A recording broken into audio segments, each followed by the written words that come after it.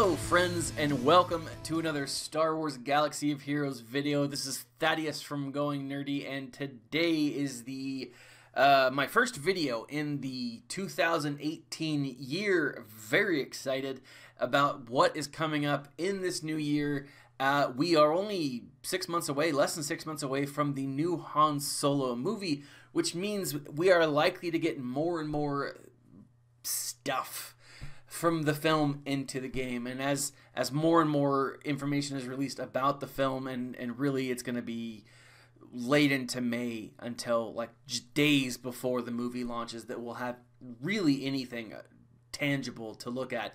But but with that I, I know that we're going to be getting more and more stuff from episode 8 now with that in this video I would like to focus on two things.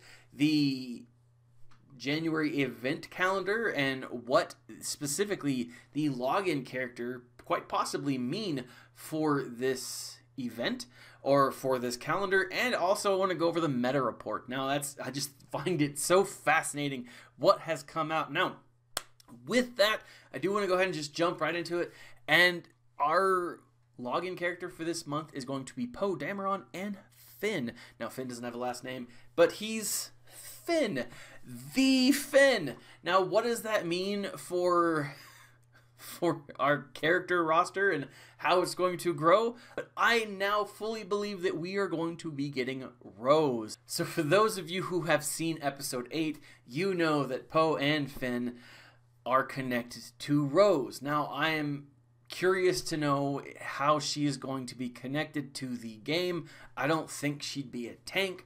I don't think she'd be an attacker. I think she'd be a, be a support character and somehow connected to the the Finn leadership ability. So I bet you she's going to be able to throw down a ton of advantage and quite possibly maybe even grant turn meter. I don't really know. Maybe she rides fathiers. Maybe that's one of her special abilities. She, you know, calls in a herd of fathiers. I have no idea. Um, but I do think that that that this latest edition, this this latest login character is hinting at the fact that we are going to be getting Rose. Now, since Rose is not the biggest of characters, I don't think that we're going to be getting her in a legendary event. Um, it would be kind of funny to see what a legendary event surrounding Rose would look like. But I do think that they're going to be giving us new new characters, more and more characters from episode 8. We haven't really seen many so far.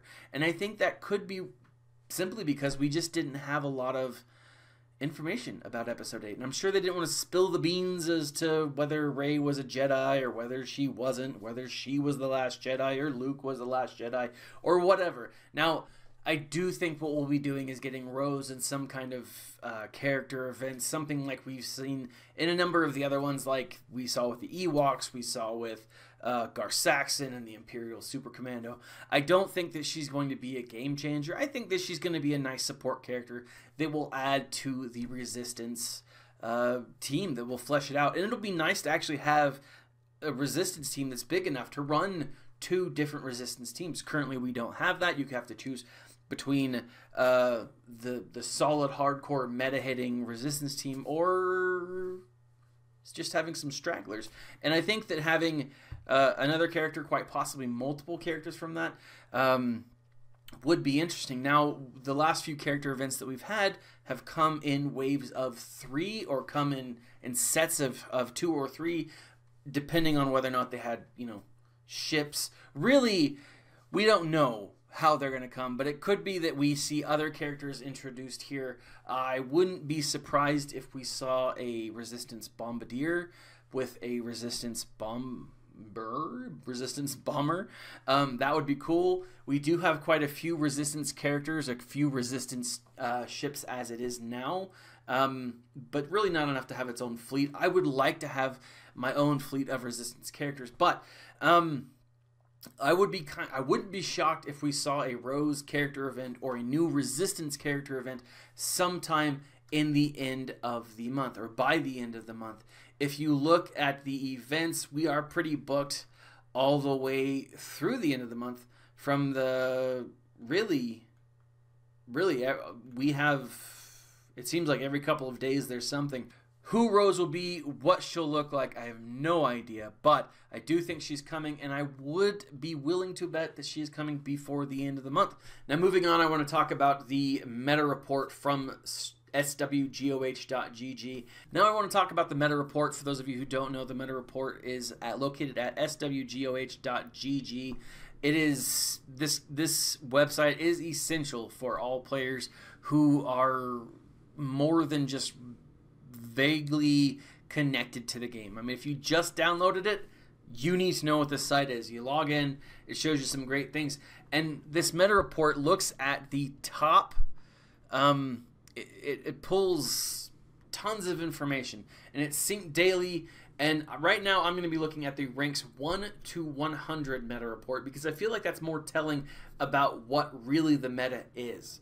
Um, now, this is based on 50,587 arena teams. Uh, it was updated today, and right now, at 47%, we have Commander Luke Skywalker still in first place. Now, that what that means is of all of those top 10 leaders at ranks 1 through 100, right? In the top 10, you have a Commander Luke Skywalker lead. Now, 14%, shortly just underneath that, is Rey Jedi Training tied with General Kenobi. Now, this is fascinating because what that tells me is two things. General Kenobi is a key component in either the Rey Jedi Training lead character, Rey Jedi Training team, or the Commander Luke Skywalker team. Um, both are, I wouldn't say necessarily needed, but he is crucial to both of those teams. I mean, eh, you can do without him if you have a, another solid character, if you're paying a ton of attention, but he is an essential part, and and he makes up that meta team. So those three characters are are important to have. Now, what's really interesting though is if you break it down, or if you look into the top, you know, top one percent, or if you look at the the meta report for the you know top 10 leaders at rank 1 it switches. It goes from commander luke being the the meta leader to rey jedi training being the meta leader. And what that tells me is luke's on his way out. Because if you watched the the mobile gamer um, Arnold video, the the thing that they did, they where they looked at the two main characters, um, or the two main main Rey teams, um, and they said, "Do these teams does, Commander Luke play nice with these characters?" And they found out no, a a Rey Jedi training does not lead does not play well with a Commander Luke. It's not that he can't is ineffective um, in attacking, but in defense he's just not the most effective in defending.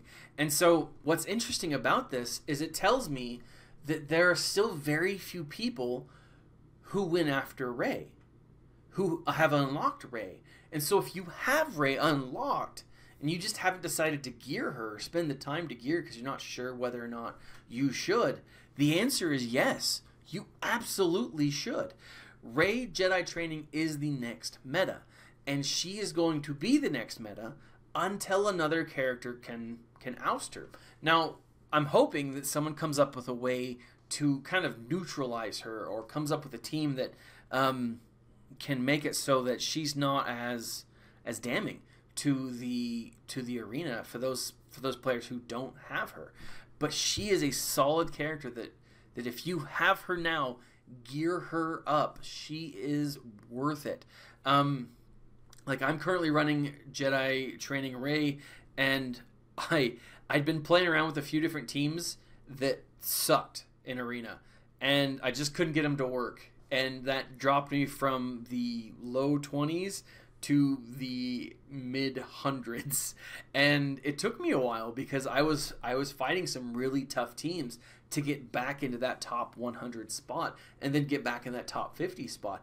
But the moment that I was able to gear Rey to to 12 and then put her in within one day I was able to jump 50 spots. I went from over 100 to just I think it was 49. And now I, you know, on my daily I go from 49 to depending on on the day I go from 49 to like 35 or 30 or 25 depending on how intently I am uh, playing. Now the problem for me is that my my my guild's raids take place at the same time as my arena payout takes place. So I can either choose to, you know, hit hardcore on arena, or I can choose to do really well in the raids. Now, personally, because I spent more time putting putting together teams that are raid appropriate, and not as much time doing it well in the arena, really it comes down to I can set it and forget it, and I play the raids versus arena. Unfortunately, it's a it's a choice I have to make, but it happens, right? Um, but with that, it's really saying this this meta report tells me, hey, I am going to need Rey, and if I am a new player, I need to do everything that I can to get Rey. Now, what that means is unlocking First Order so that I can then unlock BB-8 so that I can then do the best that I can to like build up my resistance teams. Now, if you don't want Rey, then that's fine. Just know that you're not going to be in the top 10 or 50 points of the arena. Now, if you're fine with that, great. Because there's still crystals available to you if you're in the top 50, the top 100. There's still crystals available to you if you just play in the arena. And so that that works out. But um, what you need to know is that, hey, she is going to be a great character. And looking again, looking back at this calendar, event calendar for January, I honestly think that we're going to be getting more and more characters from from episode 8. Now, I think that's probably going to last through January for sure and maybe even into March when I think we're going to start getting our first teasers for the solo movie. Now, I'm excited for that. Um, I'm hoping that it's good. I don't know. I've had some mixed feelings about the Star Wars films lately, but this game and the extended universe are keeping me they're keeping me a fan. And and I did love the movie. I I found it really fun to watch. I there are some major problems with it for sure. Um, the more I dive into it, the more I analyze it, the less I like it. But when I stop doing that and I just look at it as a film, meh, it's fun. It's enjoyable. But with that, guys, what do you think about this new information from the event calendar? What do you think about the new meta report or the latest meta report? Um, I've been wanting to do this monthly, but you know everyone doesn't you know every so often, so I've just run out of things to say. But um, leave a comment in the section below. Let me know what you think. Subscribe, like, and share this video. This has been Thaddeus from Going Nerdy, and as always, stay nerdy, my friends.